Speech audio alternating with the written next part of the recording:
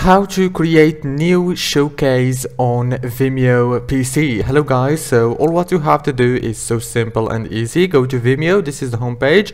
Now all what you have to do is go to the top here on your profile picture, then go down to collections right here as you can see. And after you click on collections, it will take you to this page. Now all what you have to do is go right here to create new showcase and click on it like this. Now choose uh, from here the name of the showcase and the description and the privacy.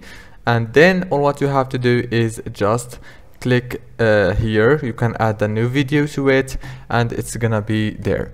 If this video was helpful please don't forget to like subscribe and thank you so much for watching this video. Until the end. See you later